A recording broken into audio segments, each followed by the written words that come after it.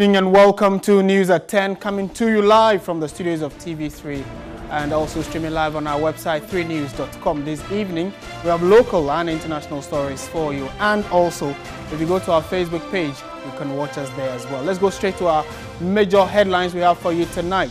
The head of virology at the Noguchi Memorial Institute for Medical Research, Professor William Ampofo, has disclosed that all backlogs of samples have been cleared as of Tuesday, May 5. At a news conference in Accra, he further revealed that the Kumasi Center for Collaborative Research is left with 1,982 to clear.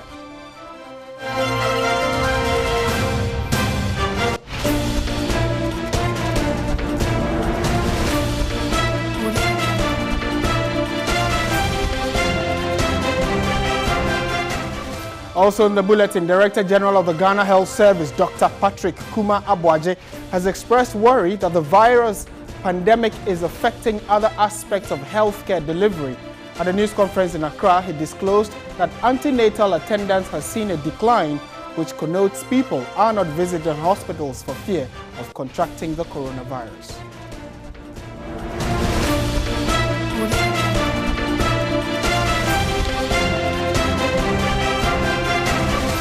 Now, the Supreme Court has unanimously dismissed a suit filed by the Executive Director of the Africa Center for Security and Counterterrorism, Emmanuel Kotin, who challenged government's decision to sign the United States-Ghana Military Cooperation Agreement. According to the seven-member panel, reasons for the decision will be ready on May 20.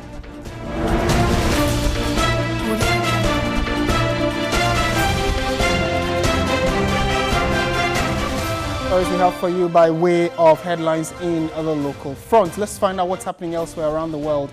Uh, we're going straight uh, to the international front to give you the headlines that uh, is out there. More than 3 billion people will be living in places uh, with near unlivable temperatures of by 2070. That's according to a new study. Unless greenhouse gas emissions fall, large numbers of people will experience average temperatures hotter than 29 degrees Celsius. This is according, uh, this uh, is considered outside the climate a niche in which humans have thrived for the past 6,000 years. The United Kingdom has overtaken Italy to report the highest official death toll from the new coronavirus in Europe. Figures released on Tuesday from Britain's Office for National Statistics reveal that more than 7,000 deaths in England and Wales in the week to April 24, raising the total death in the UK to 32,313.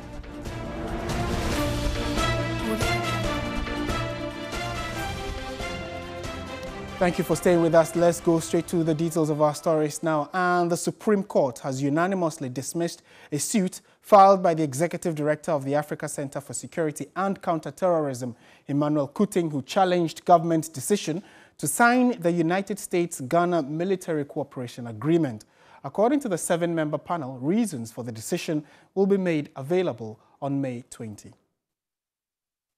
In 2018, the executive director of the African Center for Security and Counterterrorism, Emmanuel Kotin, and the Ashanti Regional Youth Organizer of the NDC, Brogya Gyamfi, filed separate suits at the Supreme Court against the government, challenging the legality of United States of America Defense Cooperation Agreement with Ghana. Emmanuel Kotin wanted the Supreme Court to declare the agreement, which many Ghanaians, including some security experts, criticized as null and void. He challenged the basis on which Ghana's parliament ratified the agreement, which he argued was not executed between Ghana government and the U.S. government. Yabruja Gyamfi of the NDC also filed a suit praying the court, among other things, set aside the agreement on the grounds that it was not in the national interest of Ghana and contravenes the 1992 constitution. Brogya Gyamfi was also asking for a declaration that the word ratify used within the provisions of Article 75 of the 1992 Constitution is a term of art which has a true meaning of incorporating international law and treaties into the domestic legal system of the Republic of Ghana and not prior approval or approval. He further sought a declaration that the ratification by Parliament of the supposed agreement between Ghana and the government of United States of America on defense cooperation, the status of United States forces and access to and use of agreed facilities and areas in the Republic of Ghana on March 24, 2018, when the supposed agreement had not been executed by the President or person authorized by the President as provided for by Article 75 of the 1992 Constitution is contrary to the said Article 75 of the 1992 Constitution and same is null and void. The defendants in the matter were the Attorney General and Minister of Justice Gloria Akuffo and the Minister of Defense Dominic Nitiwul. Following the ratification of the agreement, U.S. troops had the opportunity, among other things, be exempted from paying taxes on equipment that is brought to Ghana as well as use Ghana's radio spectrum for free. And let's go to Skype now. Let's go to Skype now and speak uh, to Brogya Gyamfi. He's joined us to uh, help us understand what he makes of the Supreme Court's decision. Good evening, Mr. Gyamfi, and thank you for joining us uh, via Skype. To start with, we know that the full details of the ruling will be out on May 20, but what are your preliminary comments on the ruling? Well, good evening and good evening to your viewers. I must say that I was very disappointed sitting in court today and uh, hearing what was said by the president of, of the court. I was expecting that um, some of the reliefs, if not all, would have been upheld uh, in the interest of the country and the arguments that uh, my lawyers made. But unfortunately, the court decided that the case should be dismissed because, according to the president of the court, uh, it lacked you know, merit. So, as you said, we are all waiting for uh, the reasoning behind the, the, the, the, final judgment. And from the, um, the, the commentary that was passed by the judges in court, were you able to find reason in, uh, in the, the argument they make that your, your case lacked merit and that the government of Ghana and the uh, defendants in the case had done considerable uh, homework before signing to the agreement? You know, it's very difficult to uh, agree because we don't know the, the reasoning behind it.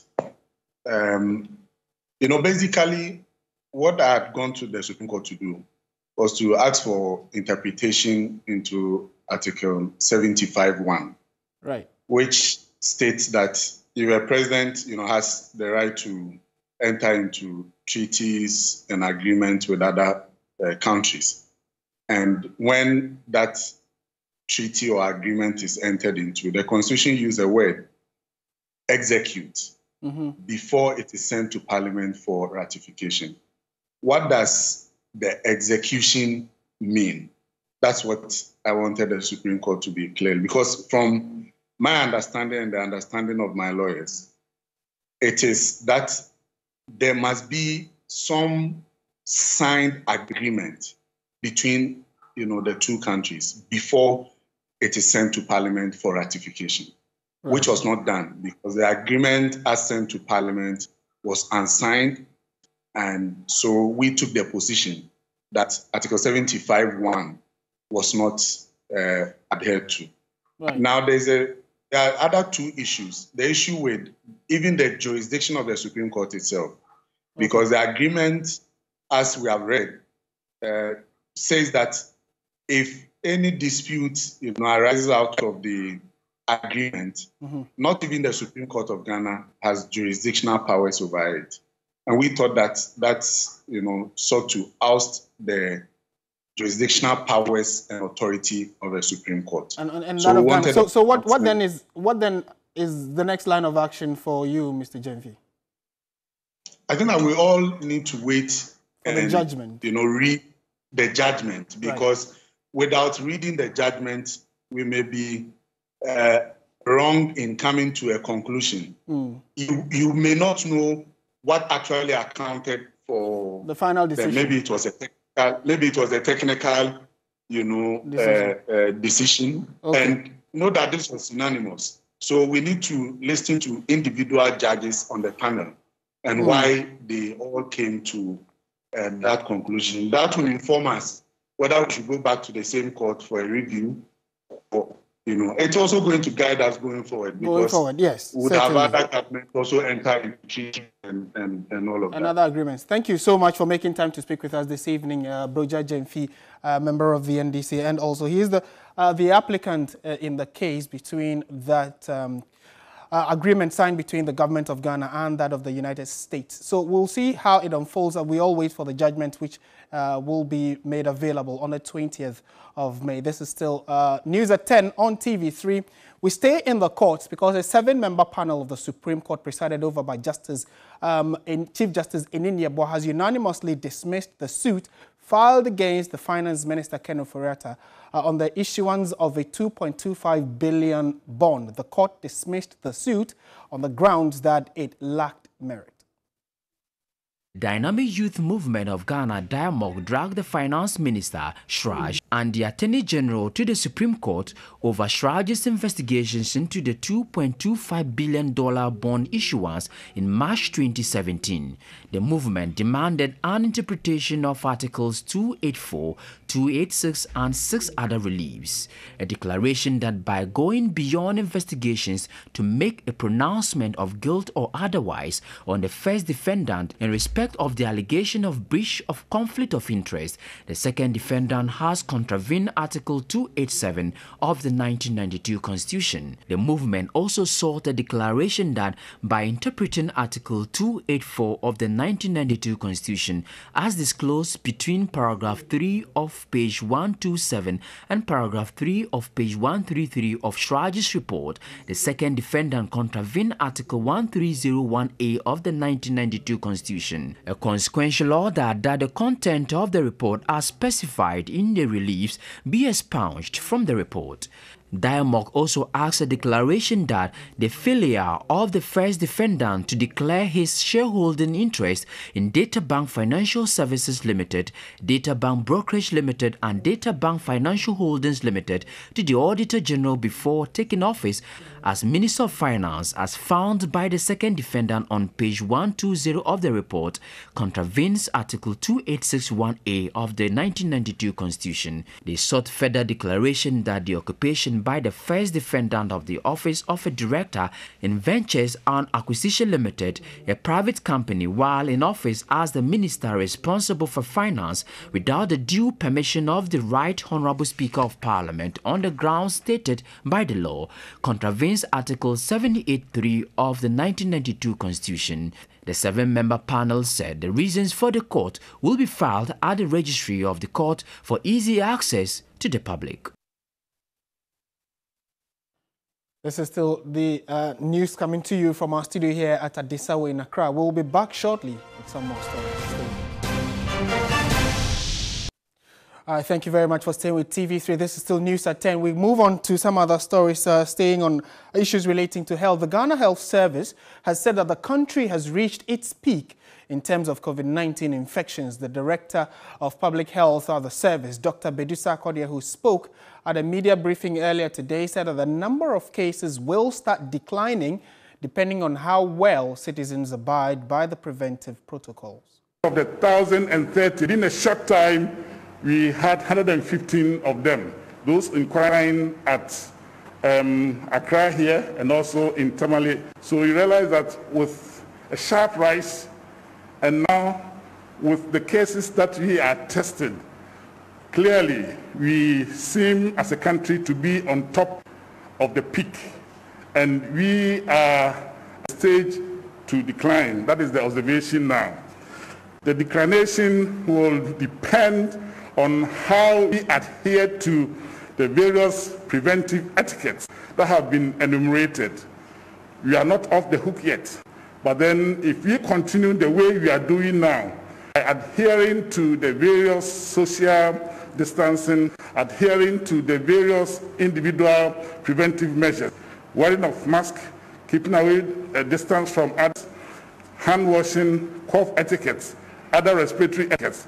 These are the things when we do intensively will let us come down from where we are. So responding directly to the question where you are, you are the peak of the curve, yet to come down. But then the only thing to make us come down by strict adherence to the various preventive etiquettes. Uh, let's uh, interrogate this subject matter a while longer. We've been joined via Skype by Sebastian Arthur. He's a virologist. Good evening, sir. Thank you for joining us. Good evening. Per the data that we have and your, you know, your monitoring of um, the contact tracing, the testing, and all the numbers, would you agree with the Ghana Health Service that we've hit our peak and hopefully in the, in the, in the next few days we'll start declining? Yeah, um, I think it's very tricky to actually go with the um, the director for public health or not, because to me, I feel like we can still do better in terms of the testing. We've done very well. I mean, um, we are one of the the, the um, countries that have really tested a lot of people. But if we can test some more, we'll realize that. To me, I'm not convinced that the number we have is the peak. I'm not convinced. That's what I would say. Mm. Uh, maybe they have some calculations they've done based on the testing they've done, and um, they might be having something we don't really know, mm. which is making them conclude that we are at the peak. But to me, I think there are some more testing that we can do. And if we do those testing and we see that the numbers are not increasing, then we can say we are at the peak. Let me just briefly say that when we say we are at the peak, we are actually trying to say that the numbers we are getting are not more than what we've previously gotten. So it, we, it's more like a curve that you get to the top, and then now you you it flattens for some time you, before you it starts declining. It doesn't come down. You'll be having some slight bump here. Okay. Yes, so it will just plateau a little bit, and then it will be. So the plateauing is where we will say that okay, we are at our peak. To mm-hmm. me, if we do some more tests and we see that the numbers we are getting is not increasing, then we can conclude that we are at the peak. But are we winning this fight? Um, that government consistently saying that they are doing the chasing, and because we are chasing, we are finding the people and testing them. And based on that analogy, would you say that we are really winning the fight, and that give or say in two months we can confidently say now we have a grasp of the issue?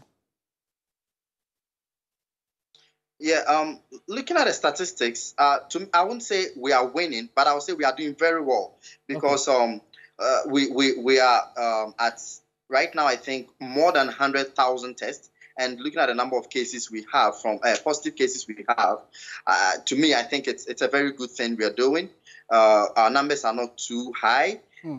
and uh, trust me, we'll, we may have people in the system who have not been tested yet, and they are still uh, carriers of the virus. Hmm. But based on numbers, based on statistics, based on what we've done so far, to me, we have done well and we are doing very well. I think there is more room for improvement. For improvement. Well. Uh, and uh, in conclusion, let's talk about Accra, which has over 80% of the total number of cases recorded.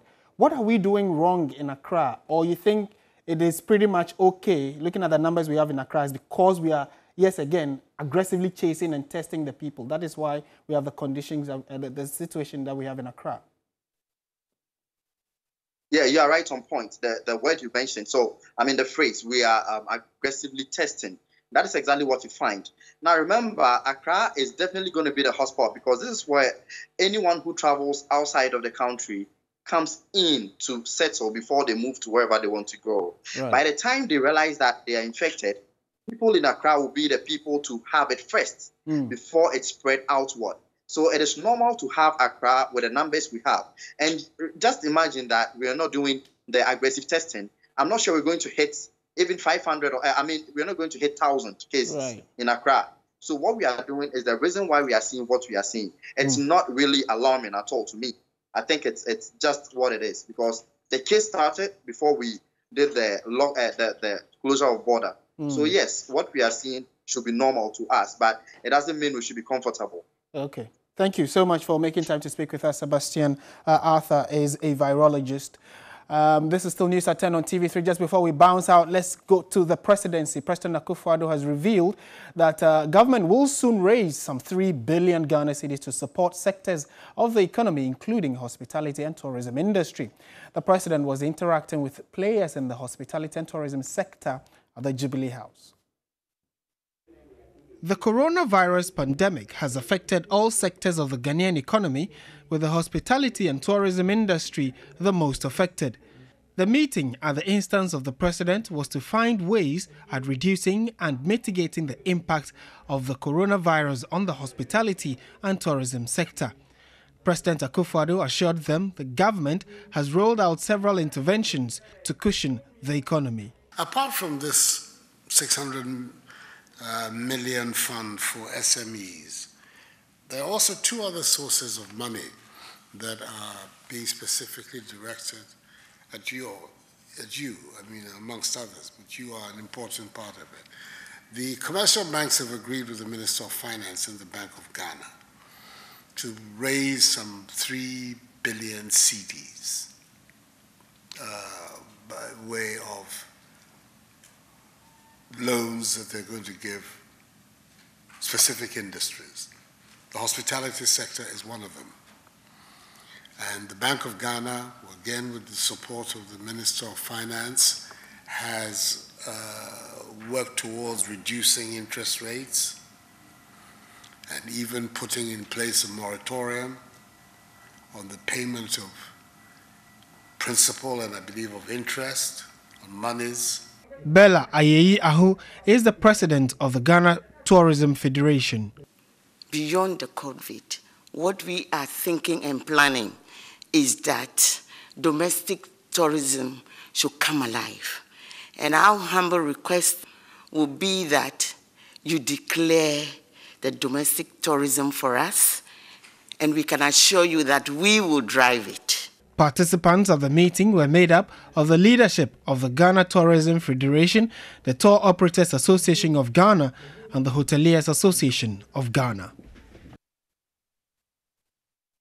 And that's how we bring the bulletin to a close. Thank you very much for watching. There is more news on our website, 3news.com. I am Martin Asiedu-Dartey. Do have a good evening as always. Stay positive.